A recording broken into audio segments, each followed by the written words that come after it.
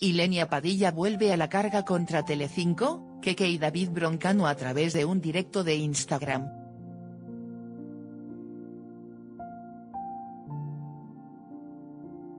Ilenia Padilla la ha vuelto a liar. La que fuera concursante de Gandía Sor, y GH VIP sigue protagonizando polémicas a través de las redes sociales. Y es que Ilenia cruza la línea al volver a atacar a los homosexuales, y a los transexuales denunciando el acoso que recibe.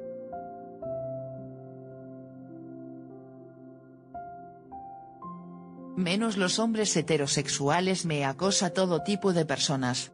Bueno miento, los rojos sí, los izquiermierdas sí me acosan, denuncia Ilenia. Y justo ahí no duda en volver a atacar a Keke como ya hizo hace unos meses al llamarle rata y lanzar a graves acusaciones sobre él. Héctor de Miguel, David Broncano sí. Toda esta gentuza también se suma al acoso, asevera Ilenia haciendo alusión también al presentador de la Resistencia.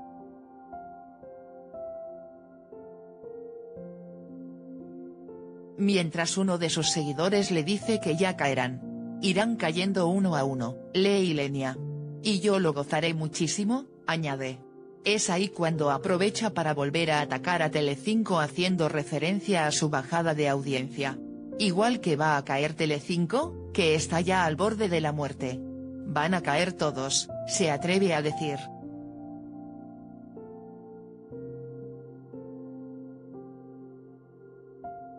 Justo después, Ilenia Padilla también se moja sobre Movistar Plus. Igual que Movistar, han caído que no veas. Todos y cada uno de ellos. Voy a veros caer, y lo voy a gozar y me voy a tocar mientras caéis, sentencia sobre la plataforma de pago.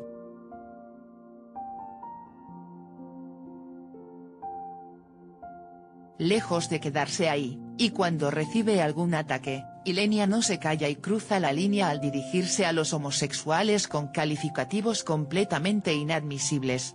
Lo dirás tú maricón de mierda. ¿Qué te piensas que solo me veis los putos maricones enfermos?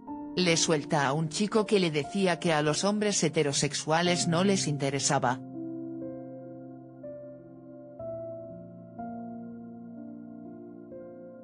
Pero lejos de quedarse ahí, la ex concursante de Gandía Sor va todavía más allá al llamar asesinos a los medios de comunicación y a todos los que la critican.